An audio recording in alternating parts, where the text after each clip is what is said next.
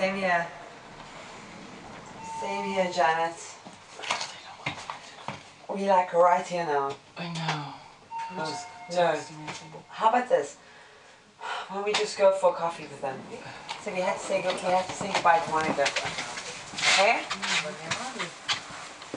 not having But that would be like we've come all the way just to have you can have a glass of wine or or tea or something, and I'll have a cup of coffee. And say, but I've, I had a conference call, which just was arranged.